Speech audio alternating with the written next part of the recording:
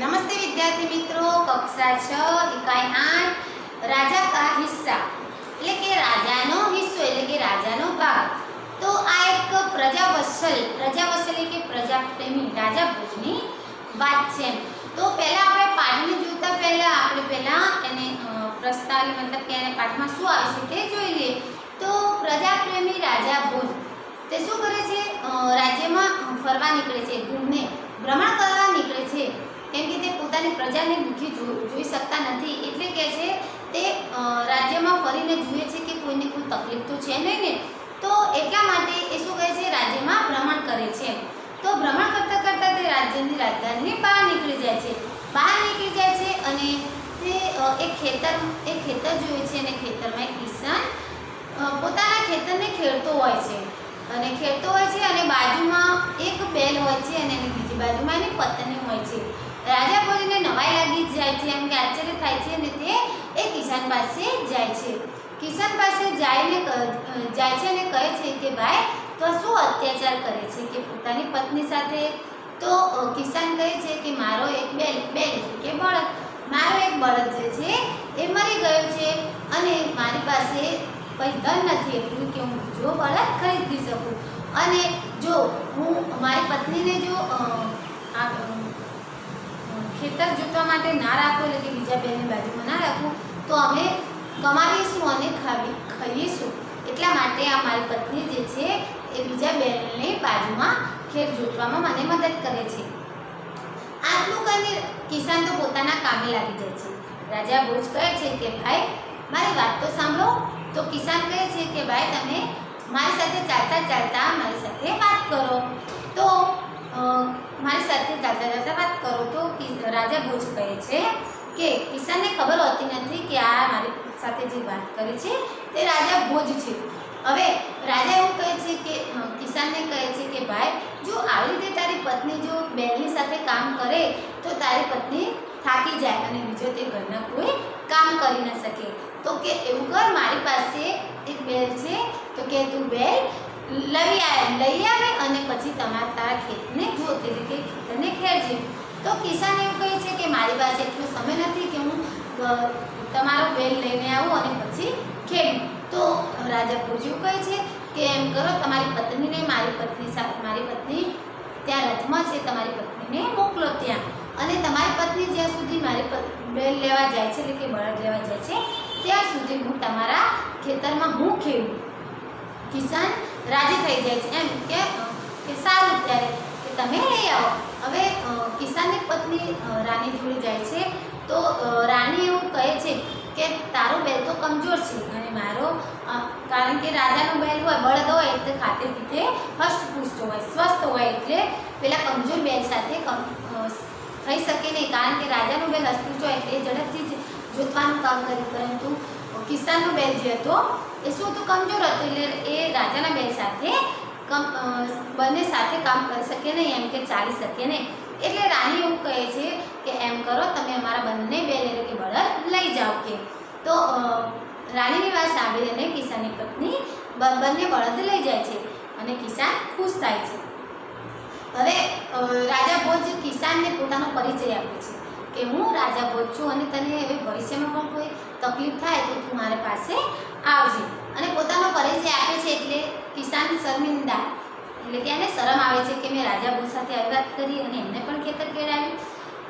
હવે હવે જ્યારે બે બળદ દ્વારા એમને જે ખેતરની ખેતી થાય છે ત્યારે ઉમદા એટલે ઘેવું સારા સારા કિંમતમાં ઘેવું થાય છે એમને. પરંતુ જે હિસ્સામાં રાજા ભોજે ખેતર ખેડ્યું હતું, એ હિસ્સામાં મોતી ઉગી નીકળે છે. હવે કિસાન પણ એક કહેવાય પ્રામાણિક હતું શું કર્યું? જ્યારે જે જગ્યાએ રાજા ભોજે ખેતર ખેડ્યું હતું, ત્યાં મોતી ઉગ્યા. તો તે રાજાને ચરણોમાં જઈને મોતી મૂકી દીધા. પરંતુ રાજા એવું કહે છે કે, ના, તો તારા પરિશ્રમ એટલે કે તારી મહેનતનું ફળ છે. એટલે આ આ મોતી ઉપર તારો જગ છે. તો કિસાન એવું કહે છે કે, ના, રાજા, કે ના, મહારાજ, આ તો કે તમારી તમારી પણ મહેનત હતી આમાં કે તો કે આમાં તમારો હક છે. તો રાજા મના કરે છે કે, ના. પરંતુ કિસાન એવું કહે છે કે, આ તમે તમારા રાજકોષમાં રાખો અને કોઈ ગરીબ હોય એની સેવામાં મો- અ, સેવા આ કોઈ ગરીબ હોય તો એને મદદરૂપ થજો. કિસાનની પ્રામાણિકતા જોઈને રાજા શું કરે છે? આ જે મૂર્તિ હોય છે એને સ્વીકાર કરે છે અને પોતાના રાજકોષમાં મૂકે છે. તો હવે આપણે પાઠને જોઈશું. આ કહાની આપણે સાંભળી લીધી. એટલે મિત્રો તમે આ પાઠના પ્રશ્નો પણ છે એ મૌલિકતાથી લખી શકો એમ. હવે આપણે પાઠને જોઈશું. तो इस कहानी में एक प्रजावत्सल राजा का वर्णन है એટલે કે પ્રજા પ્રજા પ્રેમી રાજાનું વર્ણન કરેલ છે राजा प्रजा की कठिनाइयों में हमेशा उसकी मदद के लिए तत्पर है શું કહે છે રાજા રાજા જે છે પ્રજાની કઠિનાઈયા એટલે કે મુશ્કેલીઓ માટે હંમેશા તત્પર એટલે કે તૈયાર જ રહેતો હોય છે અને એટલા માટે તો તમે બધા ઘણા રાજાઓને જોયા છે કે અકબર રાજા હતો પછી અ, દશરથ રાજા એ પણ બધા પ્રજાપ્રેમી જ હતા તે પ્રજાની કઠિનાઈ દૂર કરવા માટે હંમેશા તત્પર રહેતા હતા તો હવે પાઠને આપણે જોઈશું રાજા ભોજ બડે પ્રજા વત્સલ વત્સલ થે વત્સલ એટલે કે પ્રેમી તો રાજા ભોજ હતા એ પ્રજા પ્રેમી હતા वे स्वयं राज्य में घूम घूम कर प्रजा की कठिनाइयों का को देखा करते थे और उन्हें यथासंभव दूर किया करते थे एक दिन राजा अपनी रानी के साथ रथ पर सवार होकर राज्य का भ्रमण कर रहे थे મિત્રો આપણે પહેલા પાઠને હિન્દીમાં વાંચી જઈશું જે રીતે ભાષા હોય એમાં તમારે જે પ્રમાણે વાક્ય હોય એ રીતે જ પ્રમાણે વાંચવું જોઈએ જેમ કે પ્રશ્નાર્થ હોય અલ્પવિરામ હોય તો વાક્યને એ પ્રમાણે તમારે અલ્પવિરામ હોય તો એ વાક્ય પૂરું અ, અડધું હોય તો તે અલ્પવિરામ પૂરું રોકાવું એ ભાષામાં એવું હોય કે તમને પાઠમાં વાંચો તો તમને એ પ્રમાણે જ વાંચવું જોઈએ એટલે પહેલાં આપણે પાઠને વાંચી લઈશું हिंदी પછી એને આપણે સમજીશું एक दिन राजा अपनी रानी के साथ रथ पर सवार होकर राज्य का भ्रमण कर रहे थे वे राजधानी से बहुत दूर निकल गए उन्होंने देखा कि एक खेत में एक किसान हल जोत रहा है मगर उसके हल में एक ही बैल है। दूसरे बैल के स्थान पर उसकी हर उसकी स्त्री लेकिन उसकी पत्नी हल खींच रही है। राजा भूत ने रथ रोका और किसान के पास जाकर कहा, भले आदमी, तुम ये क्या अत्याचार कर रहे हो? भला कहीं स्त्री को भी हल में जीता जाता है? मेरा एक बैल मर गया है। दूसरा बैल खरीदने के लिए मेरे पास धन नहीं है। अगर खेत न जोता तो मैं खाऊँगा। क्या? कहकर किसान पुनः अपने कार्य में लग गया। उसे क्या पता था कि उससे बात करने वाला कौन है? राजा ने कहा, अरे भाई, जरा सुनो तो। जो करना है, मेरे साथ चलते चलते कहो। मेरा काम क्यों रोकते हो? किसान ने कहा। राजा भोज ने उसके साथ साथ चल, चलते गए। चलने लगे। अपने काम के प्रति किसान की लगन देखकर राजा भोज बहुत प्रभावित हुए। वह बोले, भले आदमी, इस प्रकार तो तुम्हारी पत्नी थक जाएगी और थकावट की वजह से कोई दूसरा कार्य भी नहीं कर सकेगी किसान बोला तो फिर तुम ही बताओ मैं क्या करूँ? राजा राजा ने कहा, तुम मेरे साथ चलो, मैं अपना एक बैल तुम्हें दे देता हूँ, मगर इतनी देर मुझे काम रोकना पड़ेगा। तुम ही बैल ला दो।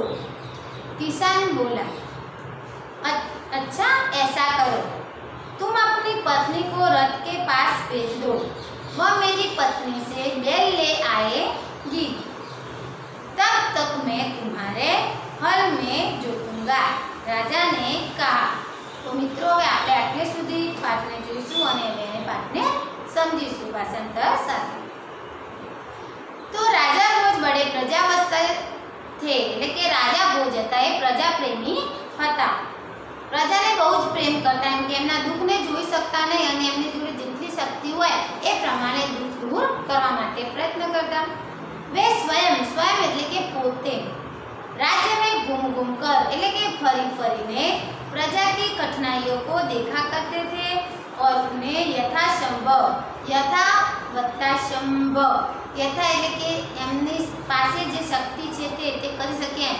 યથાસંભવ દૂર કિયા કરતે થે એમને એ કરી શકતા હોય યથાસંભવ એટલે પોતાની શક્તિ પ્રમાણે જો એ દુઃખ દૂર કરી શકતા હોય તો એ કરતા એમ एक दिन राजा अपनी पत्नी के साथ रथ पर सवार होकर राज्य का भ्रमण कर रहे थे तो શું કહે છે પત્ની કે સાથ સેના પર તો રથ પર રથ પર સવાર કર રહે थे राज्य का भ्रमण કર રહે थे ભ્રમણ એટલે કે રાજ્યમાં ફરી ફરીને ઘૂમવું કે કોઈ પ્રજા મારી દુઃખી તો છે નહીં ને वे राजधानी से बहुत दूर निकल गए અને તે પોતાના રાજધાનીમાંથી બહાર નીકળી ગયા ફરતા ફરતા એમ ઘૂમતા ઘૂમતા उन्होंने देखा कि एक खेत में एक किसान हल जोत रहा है તેમને જોયું કે એક અ, उन्होंने देखा कि एक एक खेत में एक किसान हल जोत रहा है તો શું કરે છે કે એક ખી- કિસાન એટલે કે ખેડૂત શું કરે છે જોતું એટલે કે અ,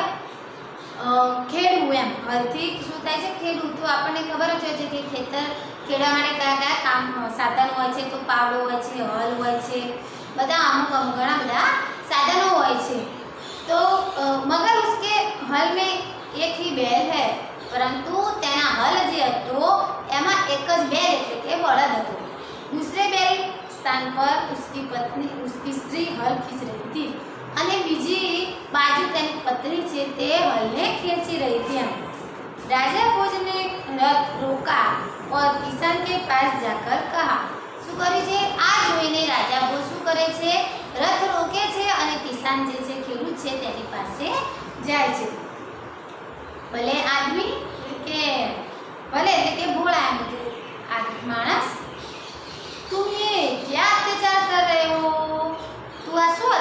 કરી રહ્યું છે એમ કે છે, તારી પત્ની જોડે.